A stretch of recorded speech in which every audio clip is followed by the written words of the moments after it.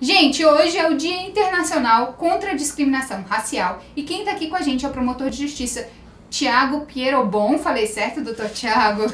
Espero que sim. É isso mesmo. É isso mesmo. Doutor Tiago Pierobon, que é autor do livro Acusações de Racismo na Capital da República. Todo mundo já tá careca de saber, né?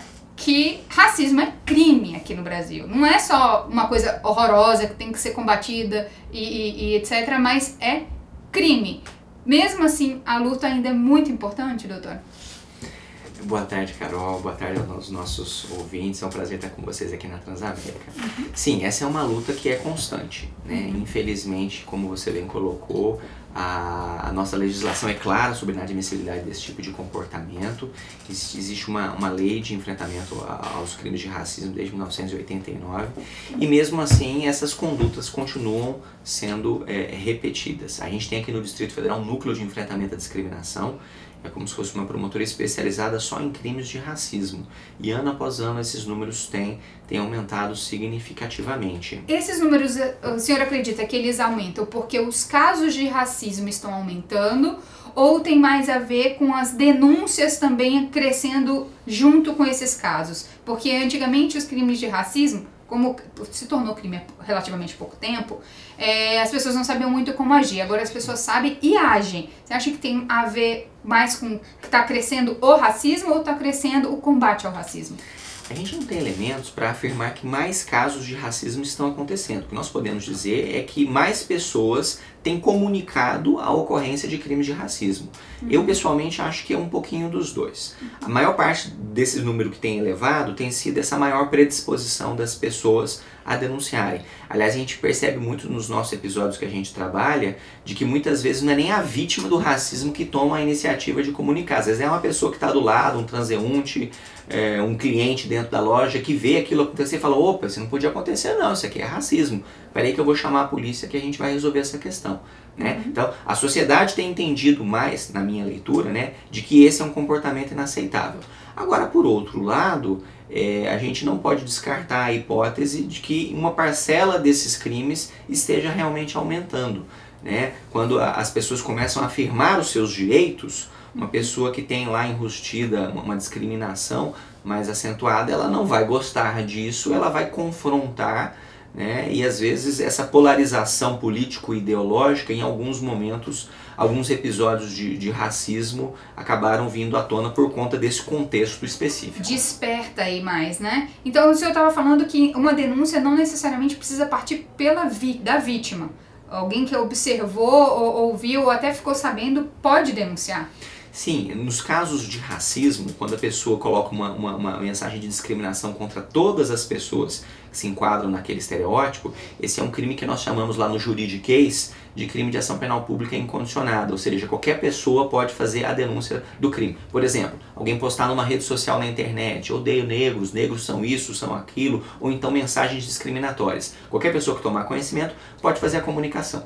Mas a situação mais comum de discriminação que nós temos é aquilo que nós chamamos de injúria racial. Uhum. É quando alguém ofende uma pessoa negra, mas fazendo é, referência a elementos da cor ou da raça dessa pessoa. Uhum. Então é quando alguém está numa loja, numa relação de trabalho, no meio da rua, tem um conflito qualquer e a pretexto de reclamar acaba fazendo um ato de discriminação. Seu negro, isso, isso e aquilo. Uhum. Né? Então, nesse contexto específico, é importante que a gente tenha uma autorização da vítima. Mas mesmo assim, o que o Ministério Público sempre recomenda é que quem presenciar uma situação como essa que chame a segurança do local, se for um estabelecimento privado, se for um local público que chame a polícia militar para fazer em flagrante a prisão daquela pessoa e aí, no segundo momento, colher a autorização daquela vítima. O senhor falou que existe é, uma ação, vamos dizer assim, verbal, né? De fazer uma, uma, uma pegar a característica da cor da pele e usar palavras para de forma ofensiva se referir à pessoa. E isso daí, então, como eu falei, é uma declaração verbal. No caso de, por exemplo, uma pessoa chega num, numa loja ou num salão de beleza e é chega uma atendente negra, tô dando aqui um exemplo para ser atendida, e a pessoa fala: "Não, você não". Não necessariamente tem ali uma palavra, não chamou ela de nada, mas só falou: "Não, não quero ser atendida por você" e preferir outra pessoa. Ali também configura racismo? Então vamos lá, o racismo ele é um fenômeno social. Uhum. Né? Existem diversos degradês né, de condutas racistas. Aliás, é bem da verdade, a nossa sociedade ela ainda está muito impregnada desses valores racistas. E todos nós estamos diariamente nos reconstruindo, refletindo criticamente sobre as nossas condutas para não replicarmos, ainda que inconscientemente, comportamentos que sejam racistas. Então, esse exemplo que você deu, se a pessoa falou, ah, não quero essa atendente não, será que não tem uma outra atendente? Se ela falou isso porque ela tinha uma discriminação contra aquela pessoa, do ponto de vista sociológico, isso é uma conduta discriminatória, isso é racismo, mas se ela não chegou a verbalizar, não, essa negra eu não aceito ser atendida por ela, não tem alguém mais competente, alguém mais branco aí para me atender, se ela falar isso, claramente vai configurar o crime racismo. Mas se ela ficou só, ah, não queria essa, não tem uma outra, e não externou de forma clara que é o motivo daquela discriminação era a discriminação racial, não vai ter o crime, apesar de nós continuarmos tendo um problema ali, que é que uhum. houve, ainda que inconscientemente, uh, a replicação de um ato de discriminação racial. Não dá para configurar isso como crime porque não tem como você provar que, que de fato foi por causa da cor, né? É. Seria uma presunção, é meio que por, por isso? Mais ou menos. Na, na verdade, a ideia é a seguinte: o, o direito penal não é resolução para todos os nossos problemas. Uhum. Ele é resolução só para os problemas mais sérios e os mais graves. Uhum. Então, para situações intermediárias, a gente tem outras ferramentas, como por exemplo o direito civil.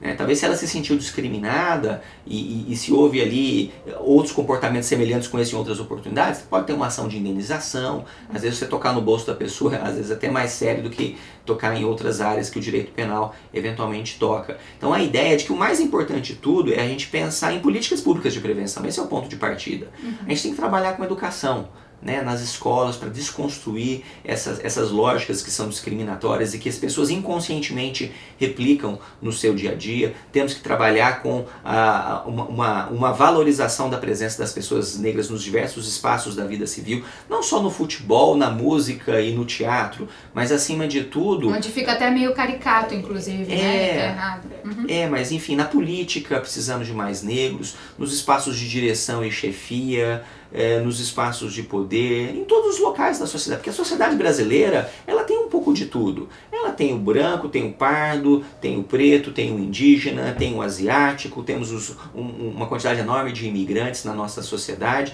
Então a gente tem que ter essa nossa diversidade refletida nos diversos espaços da vida social, porque é isso que faz o país ser um país, o Brasil ser um país rico como ele é. Uhum. Exatamente essa nossa riqueza da diversidade. E a gente fala com tanto orgulho disso, né? É absurdo ainda acontecer esses crimes de racismo aqui no Brasil. A gente vai de música, é o tempo de você mandar sua mensagem no 996861001 e participar aqui. Hoje é o Dia Internacional de Combate à Discriminação Racial, beleza? É por isso que a gente trouxe aqui o Dr. Tiago Pierobon, que eu tive que colar aqui o nome do sobrenome do Dr. Tiago que é do Ministério Público, e é o seguinte: duas pessoas, o André Luiz e o Jorge Harrison Gonçalves, fizeram a mesma pergunta. Ele pergunta para o Dr. Tiago, eles perguntam como diferenciar racismo de injúria racial. Então vamos lá, obrigado aos ouvintes pela pergunta. Essa é uma questão que toda vez que a gente fala do tema suscita é, dúvidas. Então, é, a, a, do ponto de vista sociológico, não tem diferença entre os dois. É tudo discriminação racial, é tudo racismo. Uhum. Né? Mas o direito penal fez uma diferença em dois crimes diferentes. Né? O crime de racismo é quando a pessoa, por qualquer forma, promove a discriminação.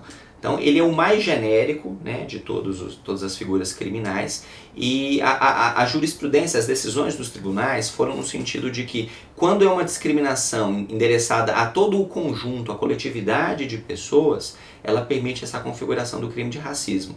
Então, como eu dei um pouquinho antes o exemplo, né, que é o mais comum do nosso dia a dia, é a pessoa entrar num, num site de internet, numa rede social e postar uma mensagem que é direcionada a todas as pessoas que são negras ou indígenas ou imigrantes ou enfim qualquer estereótipo de discriminação com aspectos negativos dessas pessoas. Então isso não pode, isso é crime se for com todas as pessoas, o crime de racismo. Uhum. Por outro lado, quando há uma ofensa a uma vítima individualizada, portanto, é, em termos é, corriqueiros, né, um xingamento uhum. a uma pessoa, fazendo uma referência à cor ou à raça dessa pessoa, aí a gente vai ter o crime de injúria racial. Às vezes as pessoas têm a ideia de que a injúria racial é menos grave que o racismo. Isso não é verdade. A pena dos dois crimes é exatamente a mesma. É de 1 um a 3 anos de reclusão. Uhum. Então a gravidade abstrata é a mesma. Tem algumas pequenas diferenças de procedimento de um para o outro, mas elas não são significativas. O importante é que os dois são inaceitáveis. Qualquer das duas situações, se tomar conhecimento, chame a polícia, comunique os fatos, não aceite a discriminação.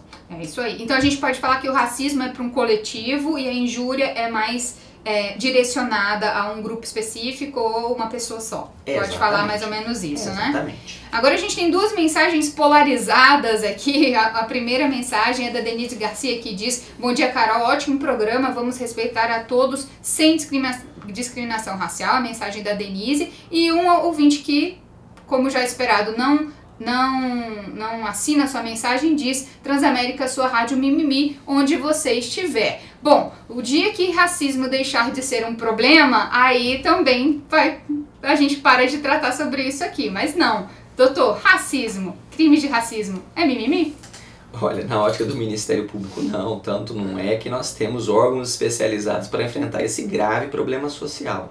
Quando nós achamos normal que uma pessoa vá a uma loja e deixe de ser atendida só por conta da cor ou da raça dela, que alguém chegue para um outro e fale seu negro isso, isso e aquilo, ofendendo a pessoa por conta eh, da cor dela, quando alguém faz algo errado e o outro vira e fala tinha que ser dessa cor, só podia ser isso. E esses são casos que nós vemos reiteradamente acontecendo, porque nossa promotoria concentra todos os casos do Distrito Federal no mesmo local. Então a gente chega à conclusão de que não é mimimi não. Nós temos um grave problema social, infelizmente uma quantidade grande de pessoas ainda replica esses estereótipos de discriminação, e se nós vemos isso acontecendo e não fazemos nada, aí nós é que somos culpados pela omissão. Então a gente tem que ter uma conduta ativa de enfrentar esse problema. E a gente tem que falar sobre isso até para as pessoas saberem como reagir, né, doutor?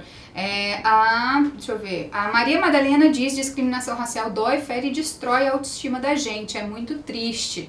Viu só, gente, como é importante falar sobre isso? E eu vou pegar o gancho dela para a gente trazer alguns dados aqui que foram passados para mim sobre qual que é o perfil dos casos de racismo, os locais em que há maior ocorrência de casos de discriminação raci racial. E 34,7% é no local de trabalho da vítima, ou seja, é ali ou com clientes, ou na chefia, ou com os próprios colegas de trabalho, né, doutor? Infelizmente. Exatamente. Essa é uma pesquisa que a gente publicou dois anos atrás, no nosso livro Acusações de Racismo na Capital da República. Nesse livro a gente analisou 180 casos de racismo em que houve ação penal ajuizada pelo Ministério Público, ou seja, não foi mimimi, teve várias testemunhas que comprovaram a ocorrência desses episódios. Uhum. E aí a partir daí a gente fez o perfil dos casos. E infelizmente essa foi uma constatação triste, que a maioria dos casos de racismo acontece no local onde a pessoa trabalha, uhum. quer dizer, onde ela passa o maior tempo do, do seu dia ali, o seu ganha-pão, e muitas vezes as vítimas se submetem à discriminação exatamente para não ter aquele constrangimento de entrar num confronto com, com o cliente, de perder o cliente. Porque ah, tem aquela máxima de o cliente sempre tem razão, sempre tem né? razão. E então, neste caso, não só não tem razão, como estão praticando um crime. Um crime né? Então o que a gente vê com muita frequência é o cliente ir na loja pedindo um atendimento, tem algum conflito em relação àquele atendimento, o preço não é o que ele achou que devia ser, demorou um pouco mais do que ele achou que deveria demorar, não veio o que ele pediu, e aí a pretexto de fazer uma reclamação, ele passa a ofender o funcionário, fazendo referências à cor daquela pessoa, como se fosse um sinal de incompetência. Está vendo como você é incompetente? Olha a sua cor. Né? Então, esse tipo de expressão no ambiente de trabalho acaba reforçando todo o conjunto de discriminações que a gente tem na sociedade. A gente costuma dizer que o racismo é um câncer na sociedade, porque ele fere um dos pilares da democracia, que é o princípio da igualdade, a ideia de que todas as pessoas são iguais pelo seu valor intrínseco e não pela sua cor. E se não for combatido, ele espalha, né? E espalha Exatamente. de um jeito muito terrível, né? E essa relação de cliente com, com agressor e vítima, mais de um quarto dos, dos crimes, né, são nessa relação aí de cliente é, e, e, atendente, vamos dizer assim, né? É muito, é muito triste, muito grave isso. Doutor, tá chegando, tá terminando aqui o nosso tempo. Para as pessoas denunciarem, como que as pessoas fazem?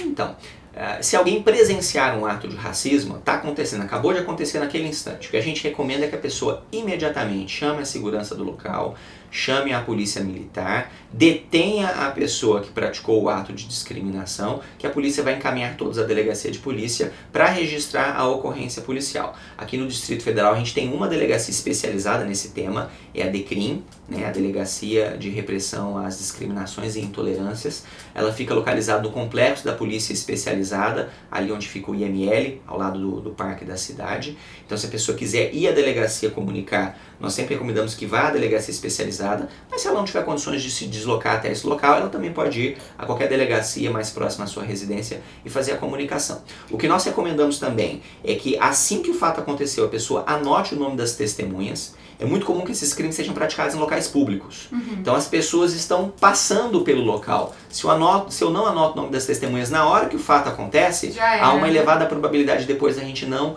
localizar essas testemunhas. E no Ministério Público a gente tem sempre esse cuidado de só processar alguém quando a gente tem provas de que realmente o crime aconteceu. Então é importante anotar o nome das testemunhas. Se foi pela internet, imprime a página imediatamente, imprime a URL, porque às vezes a pessoa posta, depois ela paga. Uhum. Então tem que documentar que aquilo aconteceu e o mais rápido possível faça a comunicação. Se tem câmeras de segurança no local, peça imediatamente a preservação daquelas imagens que logo na sequência a gente vai acessar as informações. Quanto mais provas, melhor. Eu agradeço demais aqui a presença do Dr. Tiago Pierobon, do Ministério Público, que é promotor de justiça do Ministério Público daqui do Distrito Federal. Obrigada e vamos seguir aí na luta contra a discriminação racial. Obrigado, Carol. Obrigado aos nossos ouvintes. É um prazer.